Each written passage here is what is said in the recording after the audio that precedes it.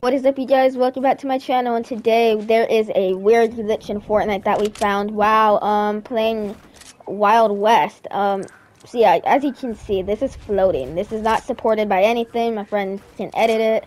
And but if we go over here and do this, it breaks.